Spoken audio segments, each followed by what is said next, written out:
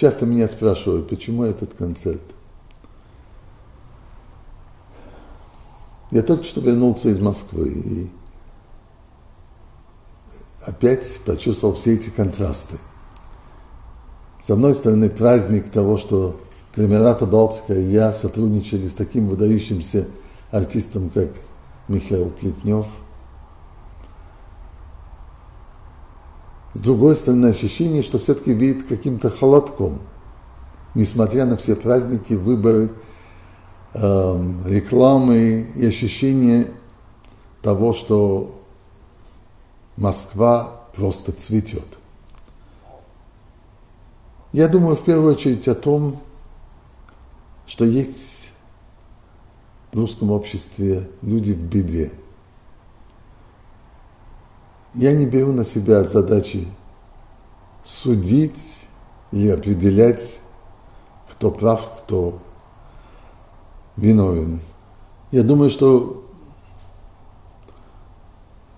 у музыкантов, у артистов тоже есть своя задача в жизни.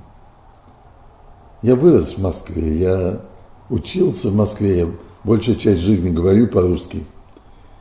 И мне было привито со студенческих лет чувство, что мое дело, моя профессия должна иметь какой-то смысл, а не только быть развлечением. В то же самое время я в мире сталкиваюсь все больше с тем, что музыкой пользуются. Пользуются в коммерческих целях, в политических целях. Музыкой пользуются даже сами артисты, которые хотят быть знаменитыми. И все это мне чуждо, потому что мне всегда хотелось со школьной скамьи быть кому-то нужным. Быть своим делом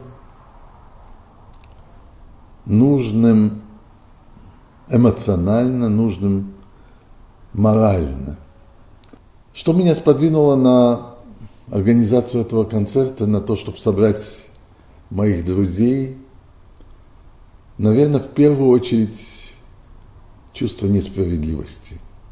Мне трудно согласиться с тем, что Михаил Борисович Ходорковский справляет свое 50-летие в тюрьме один из светлых умов России, уже 10 лет за решеткой. Журналисты преследуются.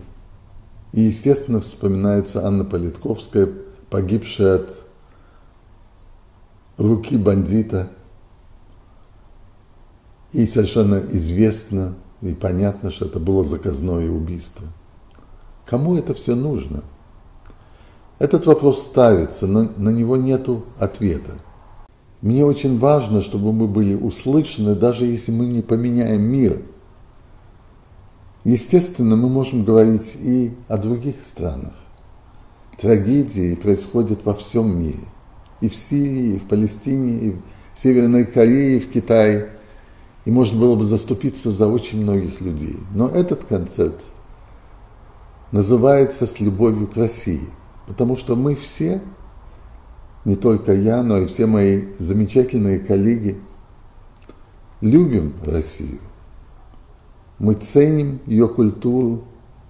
Я всю жизнь говорю на русском языке. Мне дороги мои русские коллеги. Я хочу с ними найти один язык. Язык поддержки тем, кто в беде.